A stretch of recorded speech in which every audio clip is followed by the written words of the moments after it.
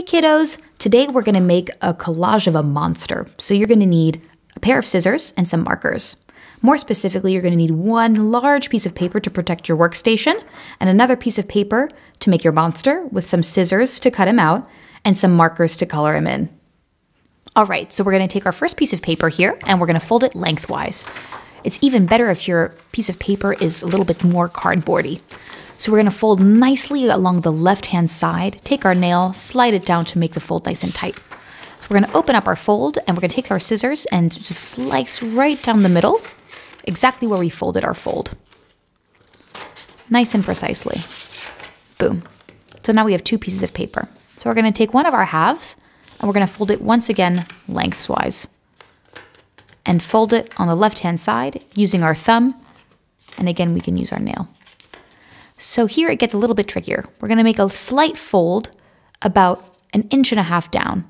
So about half uh, a length of a finger, of an adult finger.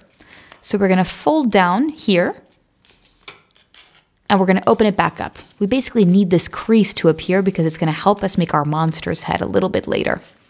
So now that we have our crease on the upper hand side, we're going to take a colored pencil and we're going to start making the shape of our monster. So start about a centimeter right underneath the end and make the head. So right where you see the crease, you'll know that the head has finished. The body and a little foot. So you can make the foot look, you know, however scary you want it to look like. I feel like a zigzaggy foot is pretty scary. Great, so we finished drawing our monster all around. Looks good. So now we're going to take our scissors and we're going to cut them out. So starting at the top, I left a little bit of room at the top, and we're going to cut out his zigzags. So nice little clean snips. Make sure your fingers are not too close to the scissors.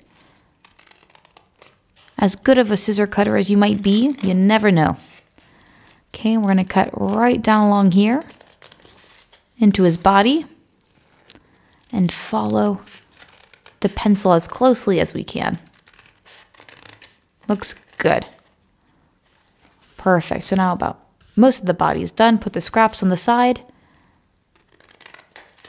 Okay, and let's cut out the feet. And using the same technique, you can do little zigzags with your scissors. So left, right, left, right, doesn't have to perfectly follow the pencil, but as best as you can. And there we go. Perfect. Pull out the little triangles there. And our monster has been cut out. So we're going to open him up. And as you can see, we have our little fold here, which is to help us make the shape of his head. And we're going to fold down his paws. Fold him one more time across all of the creases. Make the creases really nice and crisp on his feet as well. And we're to make sure that he can stand. So just keep folding until you can hold him up and he stands. Great. So once he's nice and standing up, we have to start decorating our monster. So in my dreams, monsters are always green. So I'm to make my monster green. You can use magic marker, you can use colored pencil, you can use paint. I personally like magic marker. But you got to make sure they're almost brand new so you have enough ink. So I'm going to use three different shades of green light, medium, and dark. And I'm going to use some black to do the outline of certain body parts and a little light blue. So make sure that the head is nice and folded because we're only going to color the top part of the reverse fold of his head. So I'm going to start with my light green. Put the cap on the bottom so I don't lose it. Okay. So here I'm going to start coloring his body. So as you can see, the fold of his head stops right there. Great. So I don't have to, you know, I don't really have to color above that exact spot.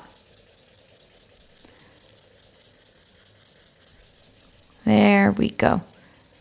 I think it always looks nicer as well when you're always coloring in the almost the same direction. There we go.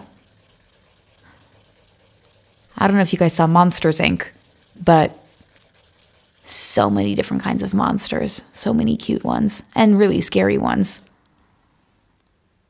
Up, now we're going to also differentiate the feet. So just draw a line right above the feet, and you'll know that you can stop drawing right up at that point. So keep going. You guys are definitely getting some exercise here. We're doing a lot of coloring. And here you can start to make a little bit of a buffer right alongside where the feet are. See, so I'm coloring really nice and slowly right above the feet. So I make sure that, you know, this is how I essentially try and not draw over the line. You just got to go really nice and slowly and draw a little bit at a time. If you start drawing too fast right by the feet, then that's when it becomes really easy to draw over the line. Great. So keeping going. Almost done with the left hand side of his body.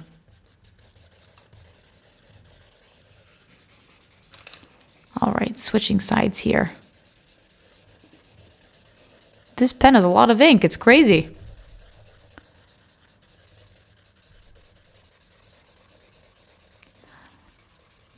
I think the monsters were green in my nightmares when I was a kid. I'm not sure. But I like this guy. It looks like he's you know, he can hide out in the in the forest, he can hide out in your backyard. He blends right in. So again, I'm changing the direction that I that I color in on the bottom so it creates that buffer. So I don't get any pen accidentally where his feet are.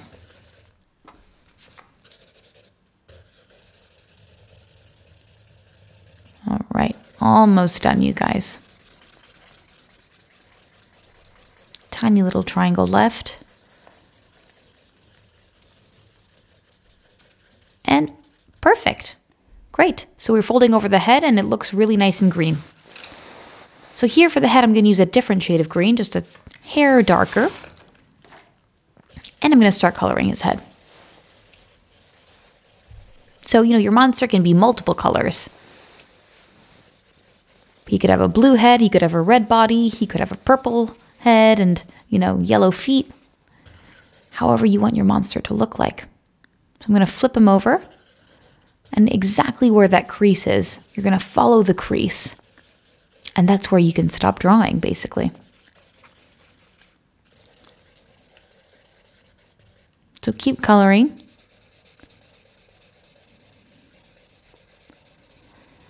So that crease is basically going to show you where the where the coloring stops to show. Once his little head folds over, you don't really need to keep coloring.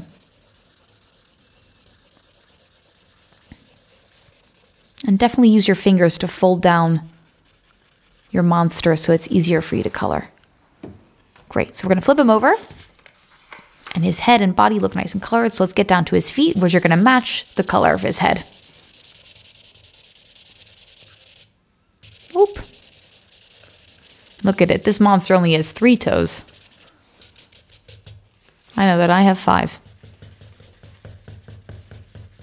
Okay.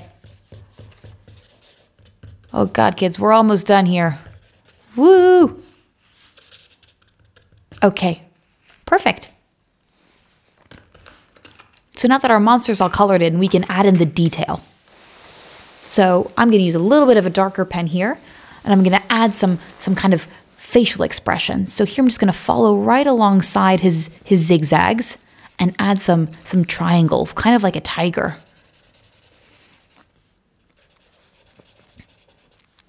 So that's always a good technique is to kind of follow alongside how you guys decided to cut out your monster. I'm gonna add another little triangle right here, so it's kind of like a little monster cheek pointing towards his face. Fill him in it's always good if you, you know, if you draw the shape before and then you fill it in, it makes it easier to draw within the lines. Make a little outline for yourself. Draw right in there. Perfect. Third triangle, draw right in there. And then his second cheek.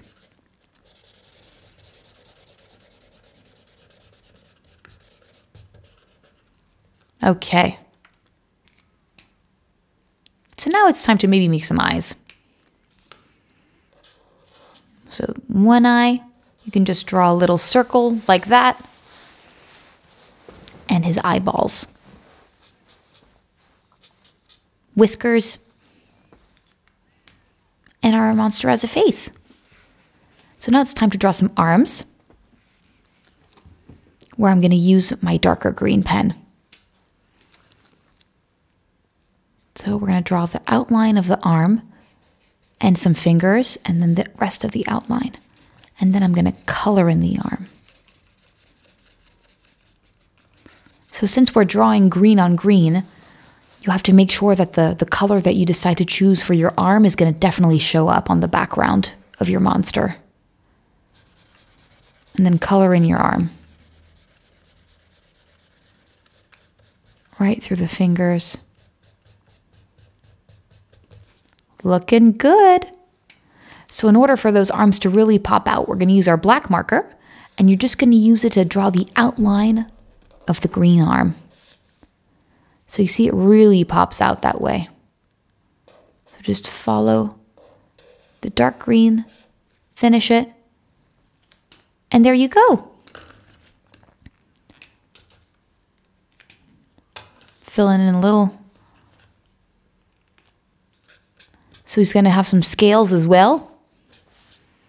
Maybe your monster is a little amphibious. Maybe he can swim. Maybe he can fly. And also adding a few nails here to my monster feet. So again, just drawing in my triangle and then I fill it in. That's how I stay really easily between the lines. And I'm to outline that, add a few scales on my feet. And here's our monster. Great job, you guys. So, kiddos, here's our super scary monster collage, and I hope you had an amazing time making it. Feel free to send in your work to tutokid.com, and I hope to see you soon.